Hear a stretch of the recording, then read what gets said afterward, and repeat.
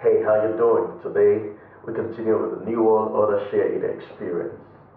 If you're born again, you belong to a different kind of civilization. It's called the kingdom of God.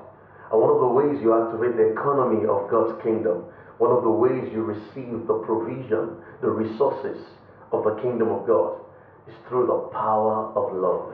In the book of Acts, those wonderful people who had just experienced Pentecost began to exchange and began to minister to one another through the power of love. The Bible says none of them lacked anything.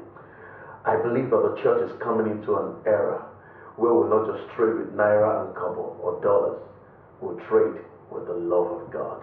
Would you step out there today and reach out to someone with love? Love is creative. Bless you.